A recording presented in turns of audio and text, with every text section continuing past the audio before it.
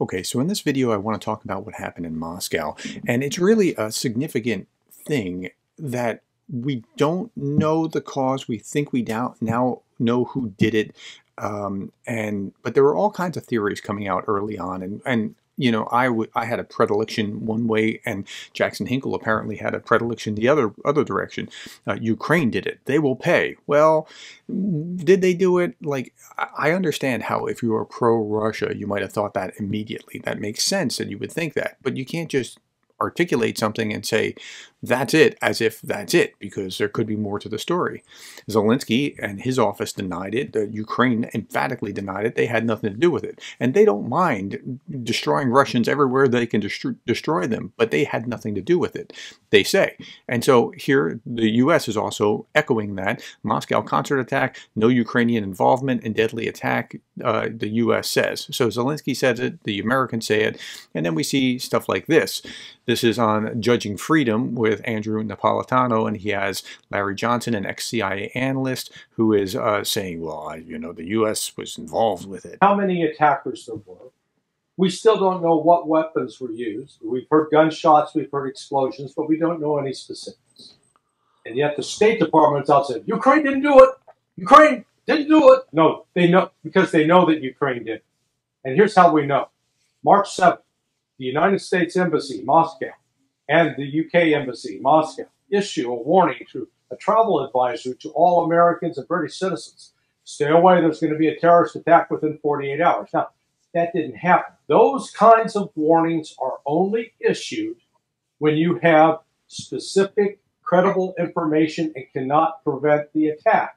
So this means the United States knew that Ukraine had something in the pipeline they knew what they were, they had some idea what they're going to do.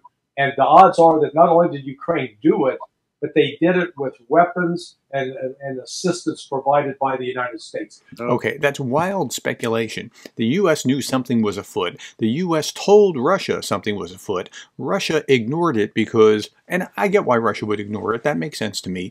That, you know, hey, you know, this could be some kind of trick by the United States to kind of get inside our heads or something along those lines. But the U.S. did warn them, and Okay, so that's what he says. And now I think to speculate is one thing. If you're saying, hey, it could be this, but he's not speculating. He's saying it happened. This is what happened. This is how it happened. Uh, let's look at this one.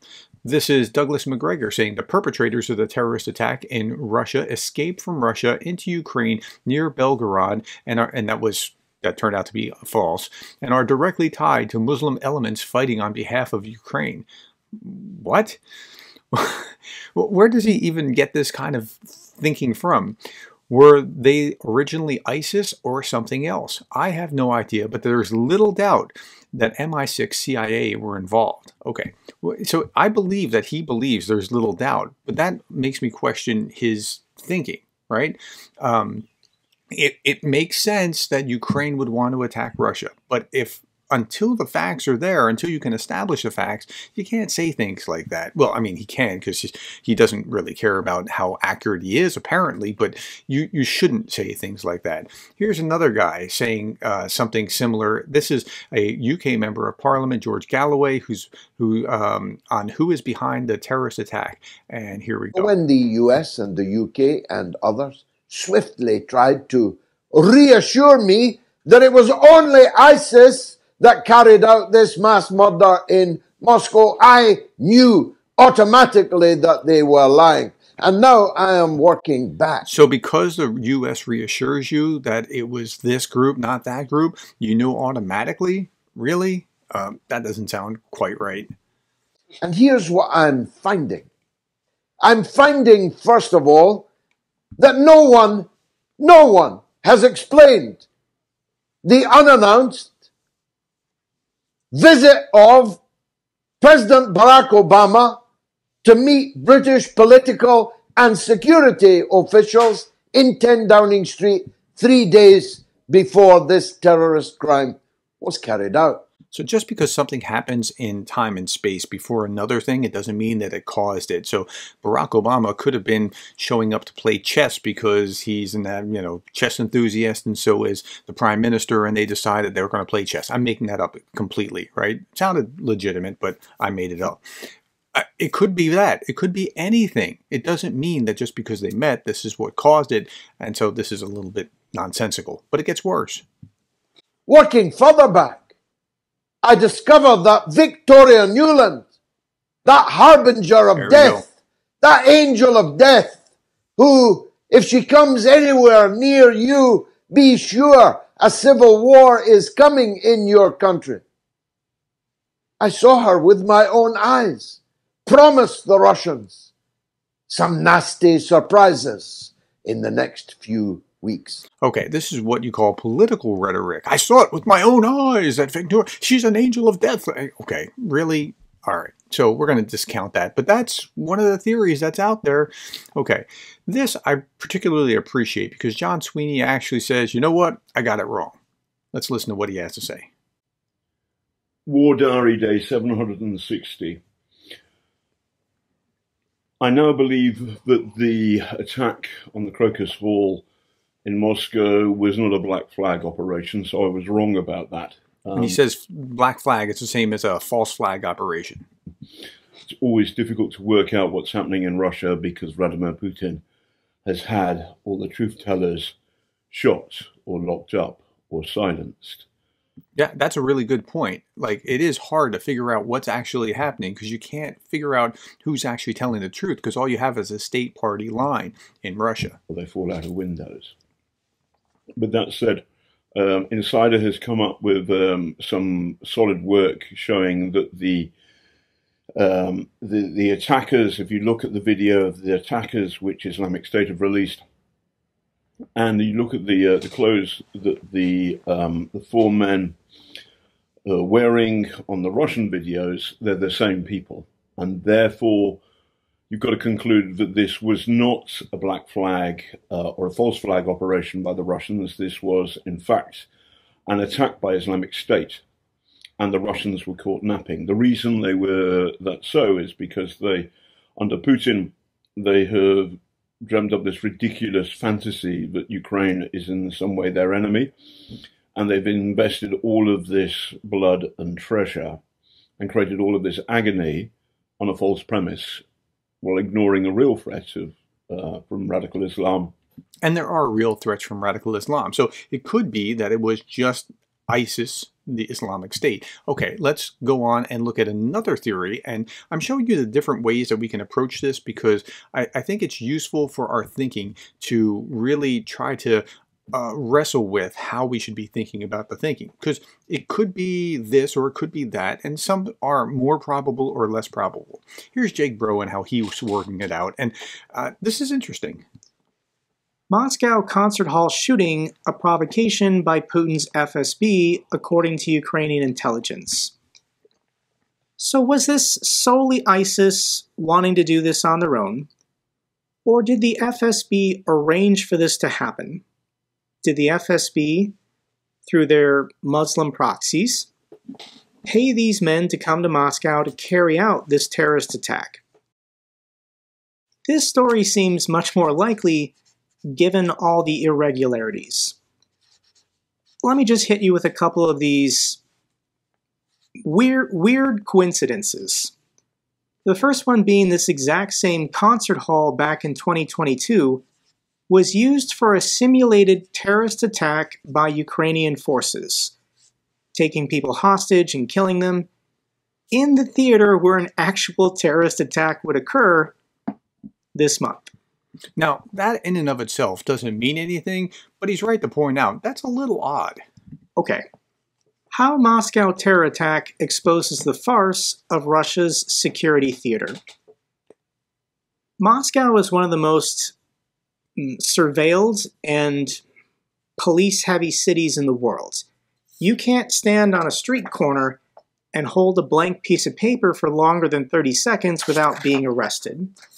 So, how are these four gunmen able to run wild for 90 minutes and then escape in their car and drive 500 kilometers away from Moscow? This is how bizarre this gets. The Crocus City Hall is a five minute drive from the main directorate of the National uh, Guard Troops Service for the Russian Federation in the city of Moscow. So, five minutes away from this mass shooting, there are thousands of Russian security forces whose job is to handle these kinds of incidents. And despite all these Russian civilians calling emergency services, posting on social media, none of these guys drove down the street to stop the terrorist attack. Here's a video I'll link down below. I'm not going to read it because he swears too much, but this is a Russian man who used to be an employee at the Crocus City Hall. And he's convinced that the FSB was behind the attack because Putin needs a justification for mass conscription, for mass mobilization. If Putin actually wants to take the cities of Kharkiv, Zaporizhia, and Odessa, he's probably going to need hundreds of thousands, if not a million more soldiers in his military. So this man says that the owner of the concert hall is a billionaire who put a ton of money into the best security systems, the best fire extinguisher systems, and for a fire to start in this concert hall and the fire extinguisher systems didn't even go off there was no security at the concert hall. It's pretty weird.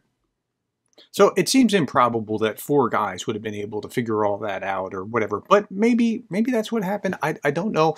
Uh, let's watch one more thing. I have a theory. I have uh, previously stated that I believe Putin knew about the upcoming attack and did nothing to prevent it. So where there, there's different positions.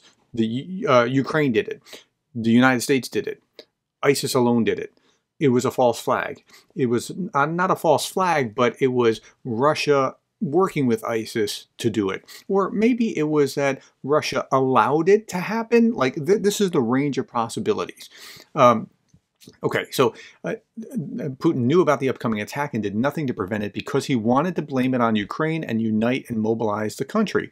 But what if that wasn't his reason for not stopping the attack? What if he wanted a big terrorist attack to take place so that the world even temporarily, stops seeing Russia as the aggressor and thinks of it as a victim. Now, that's that's a really interesting thought. Or what if he wanted to uh, mobilize by saying there are other threats around us, not just Ukraine, so that they could raise an army in order to go to Ukraine? I, I don't know what the answer is here. I you know Jay could be right. Uh, I, well, okay, so here's what I know: Jackson Hinkle's not right.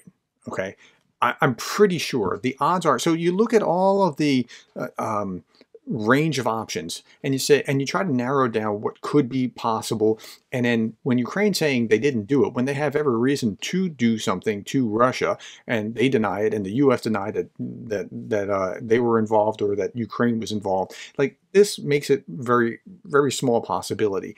And so you'd start to go through the other possibilities. He said no, they said no. Um, he says yes, and he's kind of a crackpot who says yes about lots of stuff. And Macgregor, same thing, discount. This guy is a little off the beaten trail as well. Uh, so, you know, where do you land? So I want you to think through the possibilities and then think through what's more likely, what's less likely.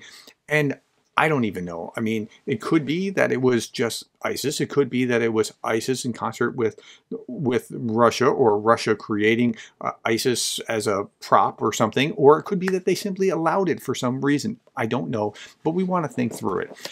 What I want you to do, what I want you to take away from this is to use your own mind and try to make sense of what are the most likely, what are the least likely scenarios so that you can think through this rather than sim simply repeat somebody else's talking point because you got to engage in critical thinking as well in order to not just deal with this, but to deal with everything in life. Okay, tell me what you think or how you perceive this in the comments below. Thank you for your time. Thank you for the likes, the shares, the subscribes, and the coffees. And thank you for being the kind of person that cares about Ukraine.